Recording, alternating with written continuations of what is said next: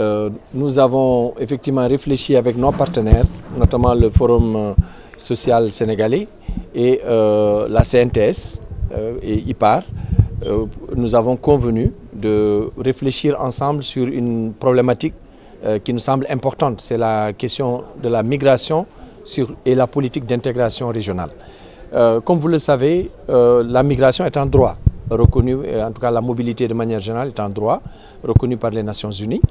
Euh, il s'avère qu'aujourd'hui, euh, la migration prend des proportions euh, qui peuvent parfois inquiéter. Et, donc, de ce point de vue, nous avions voulu analyser cette question. Nous, ça fait une trentaine d'années qu'on travaille personnellement sur cette question.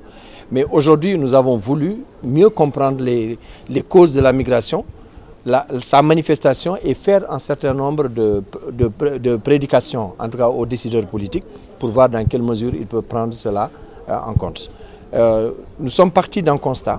Le constat, c'est que plus de 84% des flux migratoires restent sur le continent africain, des Africains.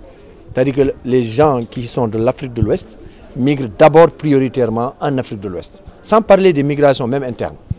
C'est seulement après qu'on peut parler des migrations euh, internationales.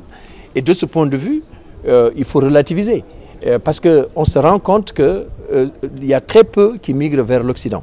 Or, quand on écoute les débats, quand on voit ce que la, presse en dit, c'est que, euh, en tout cas la presse surtout occidentale, c'est que les Africains sont en train d'envahir l'Europe. Alors que euh, on voit que les migrations des Africains représentent à peine 3% au niveau mondial. Et donc, il faut qu'on revoie ces analyses et qu'on regarde maintenant comment amener le dialogue entre les décideurs politiques, les migrants eux-mêmes, les communautés, pour qu'enfin on puisse prendre en compte cette dimension. Le deuxième élément qui nous a amené à réfléchir ainsi, c'est que euh, aussi bien en Occident qu'en Afrique, on se rend compte qu'il y a des tracasseries qui existent. C'est vrai que euh, souvent les migrants sont victimes de, non seulement de tracasseries, mais parfois de certains comportements.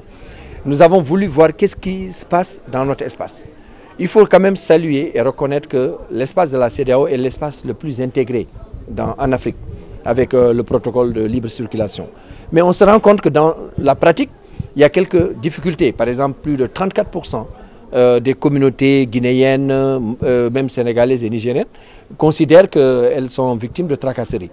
Et on se rend compte qu'il y a beaucoup de, points d'entrée, en tout cas de difficultés de libre circulation de ces communautés.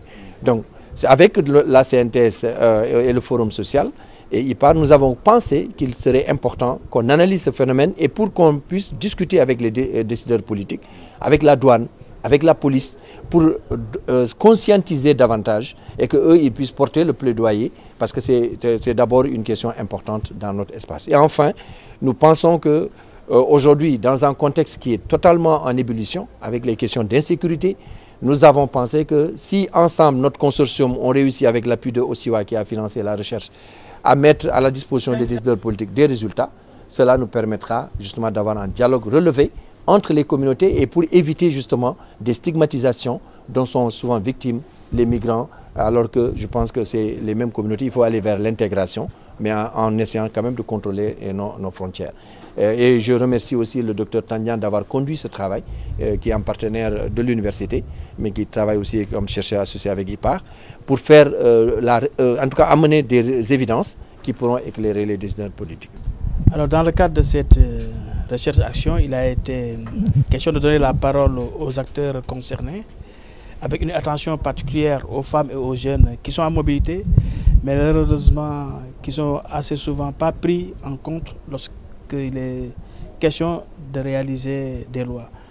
Alors, pour nous, c'est une opportunité de leur donner la parole et de nous dire également comment ils voient la CDAO à l'avenir. Qu'est-ce qui pose problème et qu'est-ce qui a amélioré? Alors je pense que, faut-il le rappeler rapidement, que la CDAO, c'est la structure qui marche le mieux au niveau de l'espace africain. Malheureusement, il y a quelques difficultés, mais je pense qu'il est encore possible de les améliorer à partir des évidences qui ont été mobilisées et collectées dans quatre pays, à savoir le Sénégal, le Niger, la Sierra Leone et la Guinée. Et ces évidences nous montrent qu'effectivement, ces populations sont conscientes de l'intérêt et de la plus-value qu'apporte la CDAO, mais qui n'ont pas également manqué de souligner des difficultés rencontrées en termes de mobilité. Aujourd'hui, au niveau des frontières, ces populations rencontrent des difficultés. Au niveau de l'accès au, au, logement, au niveau de l'accès au niveau des structures. Je pense que ce sont des choses qui ont été relevées et ça peut se comprendre. Parce que malheureusement, aujourd'hui, quand on parle de la migration, on porte le regard sur les transferts de fonds.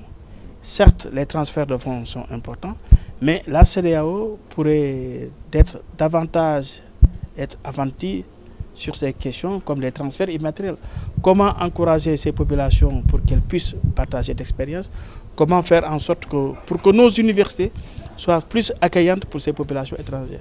Je pense qu'aujourd'hui, dans un temps de souveraineté évoqué un peu partout en Afrique de l'Ouest, il est question de faire des efforts et de prendre en question les besoins de ces populations avec euh, une attention particulière pour les femmes et également pour des jeunes qui sont en mobilité.